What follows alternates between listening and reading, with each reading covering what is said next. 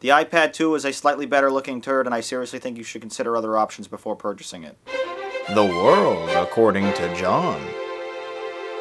Hello and welcome to The World According to Jon. My name is, as you know, Jon Paul, and on today's episode I'd like to talk about the iPad 2. On one of the earliest videos I ever posted on this, the Jon channel, I spoke out about the iPad and why I thought it was not worth our money. Uh, mainly because it, it, was just a really glorified cell phone, sans phone, for $800.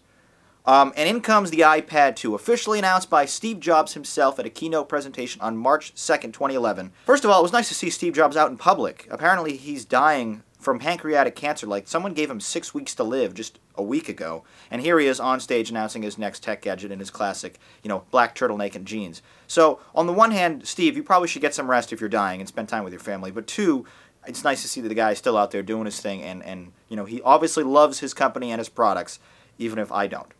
So, Steve Jobs is out there March 2nd to introduce the world to the new iPad 2 oh my god, what have they, what is it going to do? Is it going to be able to fold up and fit in your pocket? Oh my god. You know what it does? Everything the iPad did for the same amount of money, and it comes with a really cool smart cover that you have to buy separately. How do they do this again? That's right, they're Apple. They convince us to buy something one year and then less than 12 months later buy the exact same product again for even more money with like one more feature.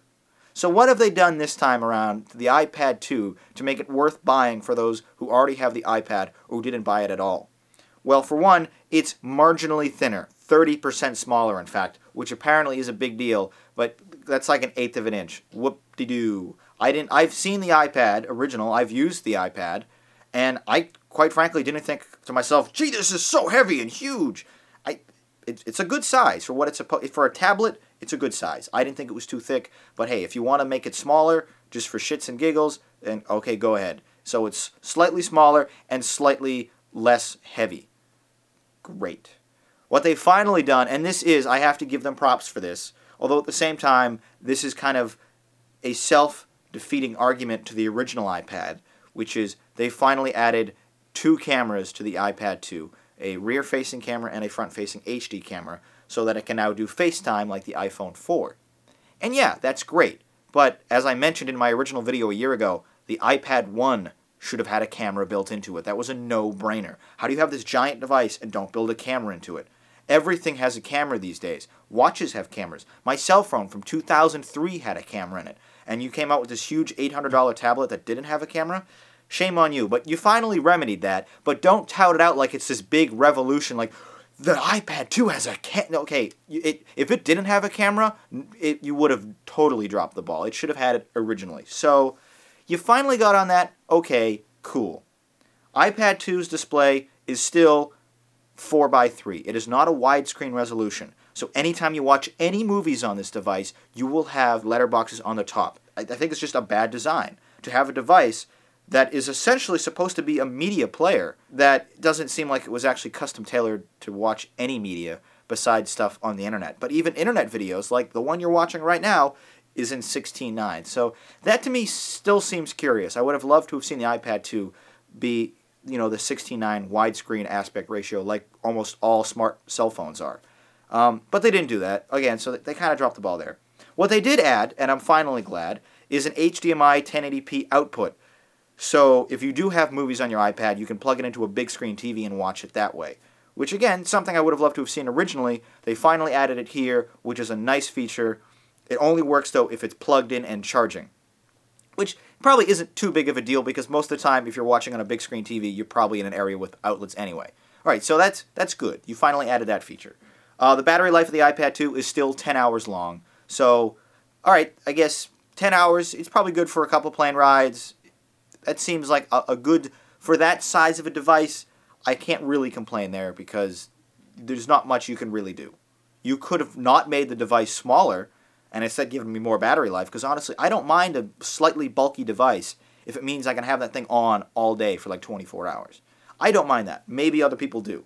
And then as I mentioned earlier, they added a new smart cover. It's this magnetic case that folds over the top of the iPad and also curls up on itself and doubles as a stand which I think is really cool. That one little piece of technology, which you do have to buy separately, and they're, they're very little tiny little piece of text at the end of the video, the end of the commercials where they tell you that. But You do have to buy this smart cover separately, but that being said, it's a cool little cover. It's magnetic, it folds up, it doubles as a stand in both ways, either like a low stand or a high stand. And it, it reminds me of like technology I saw in the Minority Report, the way it kind of like folds off and like kind of clips back on. So that's pretty cool, but again, it kind of seems like Apple's admitting that their tech needs help. It's kind of like when the iPhone came out and the screen was all getting scratched, so they released those new cases immediately after it free to all of their users. It's like, sorry we designed an inferior product, here's a case to keep it protected. I kind of get the same feeling here with the iPad smart cover, but it does look cool, and it comes in a rainbow of colors, so we'll let it slide this time. So my big gripe here is if you go to apple.com and you watch their promotional video about the iPad 2, it's all the Apple big shots being like, this is a revolutionary device, you have to buy it. It's a one-in-a-lifetime product. All right, great. So people who designed the device really like the device. I don't know that we need a six minute commercial telling us this, but if you go to apple.com, you can watch it. And the issue I had in this video was Senior Vice President of Design Mr. Jony Ive of Apple. He said, and I quote, I can't think of a product that has defined an entire category and then has been completely redesigned in such a short amount of time. Now, the big problems I have with this are this. One, you're basically admitting you love to screw over your customer base by redesigning your products every 12 months. Two, you're suggesting the iPad 2 is going to redefine the tablet genre. No and no. All right, one, don't brag about that. It's like, we are so great at completely screwing over customers every six months. We come out with a better product and force you to buy it and get rid of your old one. That's not a good thing. The iPad 2 is not going to redefine anything. What, what have you you made it thinner? Woo! I'm impressed. All right. The iPad 1 was, I'll admit, a big deal in the tablet area. The iPad 2 is a slight improvement.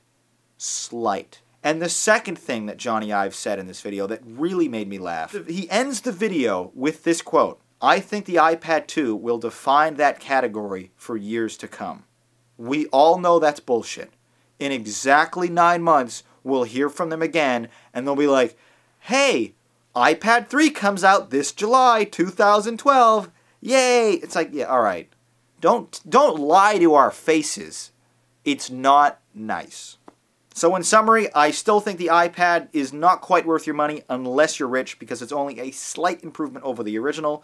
And two, I'm not a huge fan of Apple's marketing techniques because they seem to blatantly lie to our faces. Uh, but those are my thoughts on the iPad 2. Let me know what you think about it in the comments down below. But until next time, friends, thank you for watching. My name is Jon, and I hope to see you right back here in the very near future.